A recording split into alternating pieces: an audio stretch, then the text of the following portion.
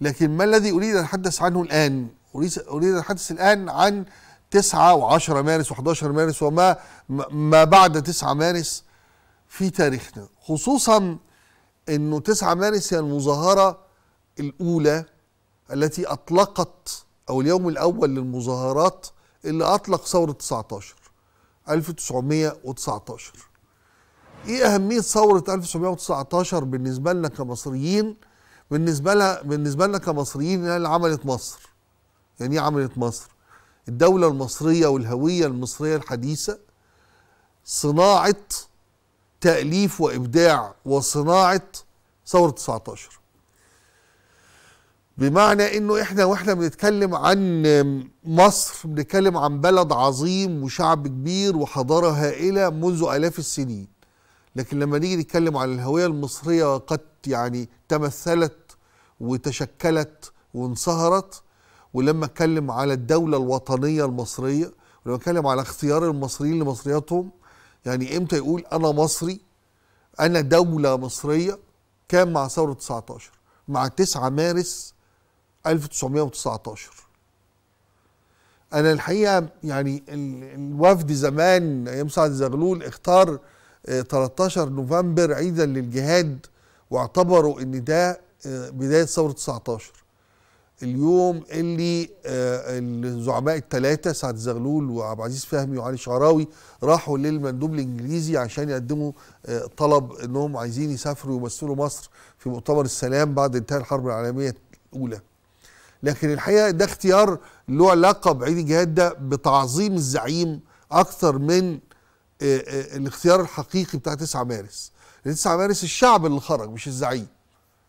ولا الزعماء السبعة اللي بعد كده اللي مثلوا حزب الوفد يعني.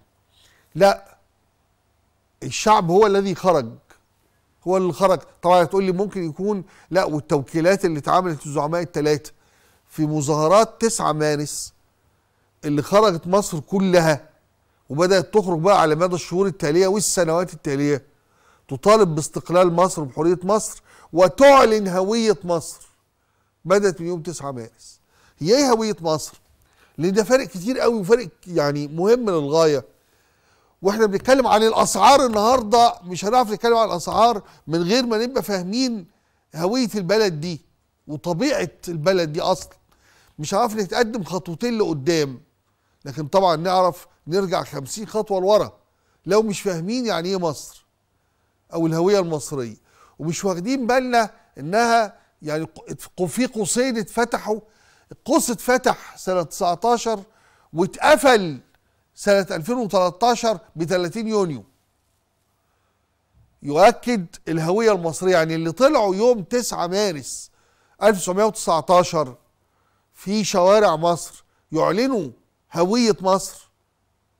هم اللي طلعوا في 30 يونيو 2013 يؤكدوا على هوية 19 دي. تخيلوا؟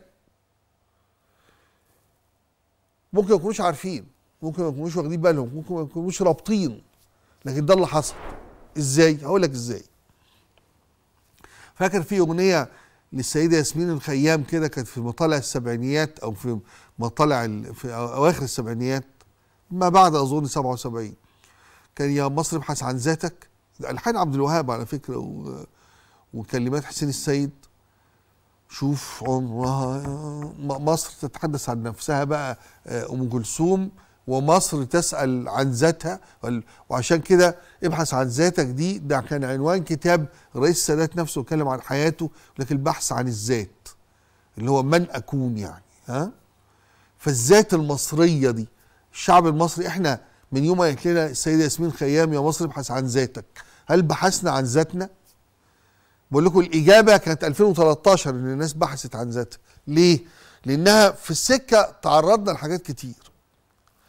لكن خليني أرجع ليوم 9 مارس وليه إحنا قلنا إن إحنا عايزين نبقى مصريين؟ إحنا مصريين وعايزين نبقى مصريين ونفضل مصريين وهي دي مصر بالنسبة لنا.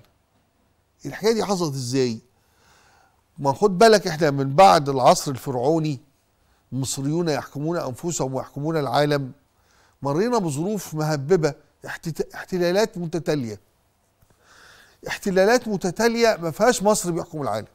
ما فيهاش بالتأكيد مصر بيحكم مصر أصلا. في الاحتلالات المتتالية دي. يقول لك بقى إشي بيزنطي على إشي فارسي على إشي عربي على إشي تركي على إشي إنجليزي. إنما هل في مصري حكم مصر من بعد الفراعنة محمد نجيب. صوروا شوف في المادة ده كله. كرئيس يعني هو الرجل الأول يعني. كل ده عشنا تحت احتلالات. مصر. الشعب المصري موجود أهو.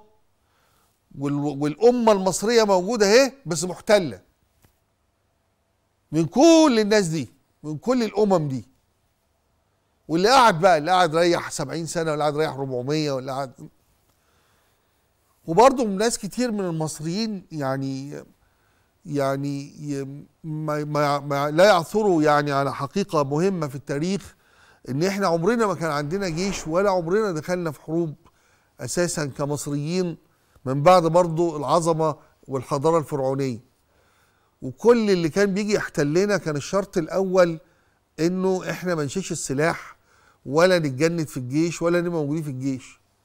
حتى محمد علي لما عمل الجيش في الأول 1811 قعد له شوية كده على ما يضم المصريين.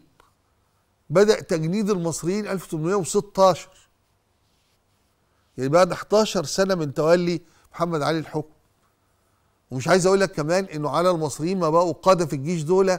خدنا بقى العصر سعيد باشا لما أحمد عرابي دخل الجيش ده هو سعيد باشا قرر يجند المصريين ومحمد علي ويجند ولاد العمد وولاد المشايخ شيوخ البلد.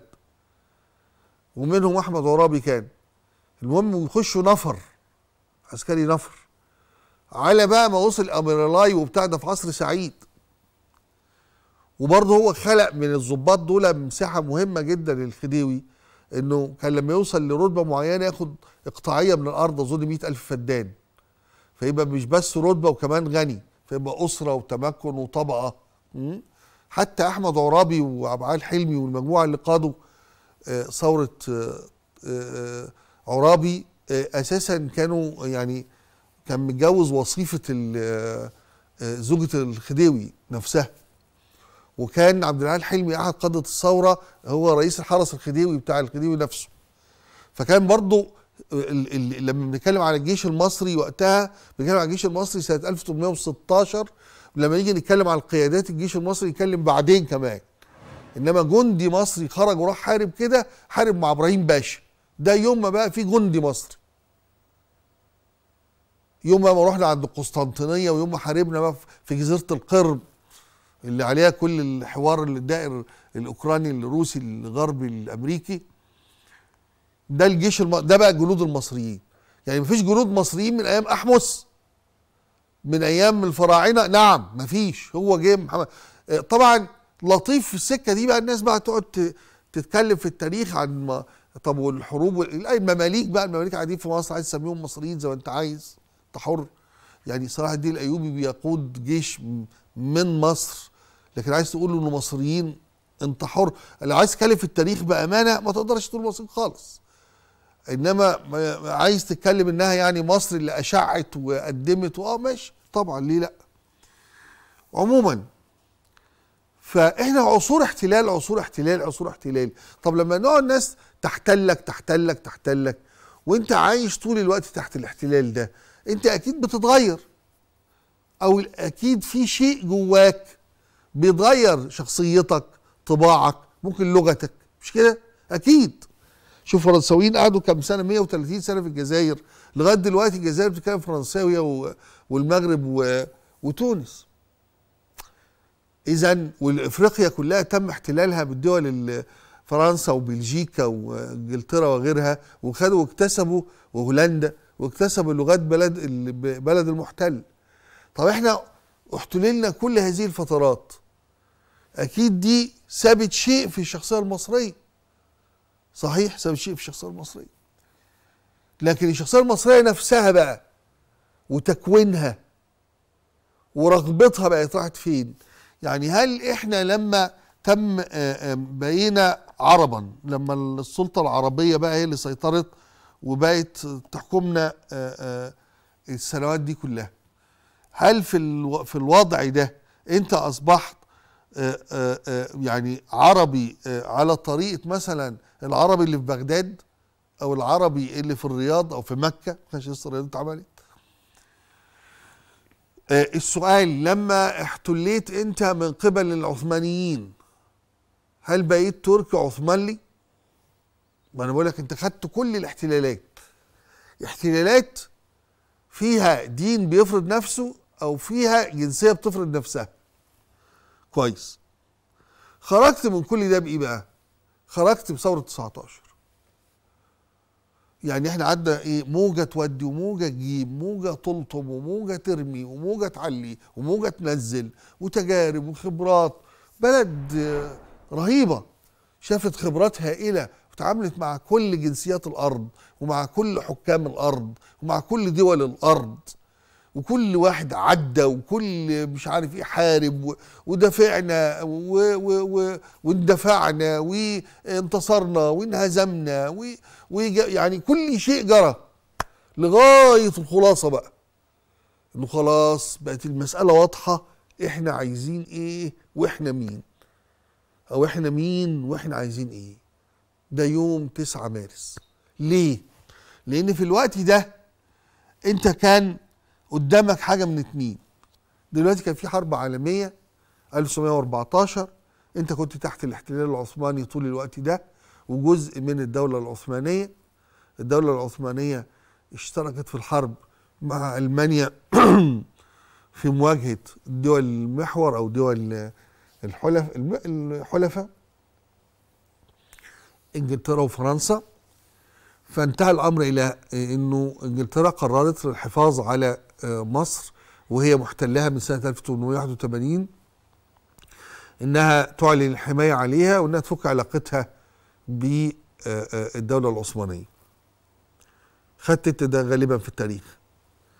طيب في اللحظة دي بقى بقى مصر عندها خيارين إما اختيار إن الشعب المصري ده يطلع يقول إن إحنا عايزين بعد ما الحرب انتهت عايزين نرجع تراكوة نرجع تحت الاحتلال التركي اللي بيسموه الخلافة أو نبقى تحت الدولة العثمانية. وفي اختيار تاني إن أنا عايز أفضل آه، آه، علاقتي بإنجلترا بالطريقة دي كعلاقة وثيقة ومهمة وهي تحميني وأنا أتحامى في دولة كبيرة منتصرة في حرب هائلة عالمية كبرى وأبقى مثلا جزء من دول الكومنولث. زي جنوب أفريقيا في الوقت دوت وزي ده دول كتير يعني زي كندا زي وفي خيار ثالث ان أنا مصر. أنا وقد تبين لي أنا الشعب المصري بعد كل هذه الأعوام الطويلة التي عشتها أنا وأجدادي وأجداد أجدادي من احتلالات ومن وجود دول كثيرة جاءت فاحتلتنا وضمت مصر إليها وعاش الشعب المصري تحت احتلالها وتحت ثقافتها وتشرب منها أديانا وتشرب منها ثقافات وتشرب منها الكثير.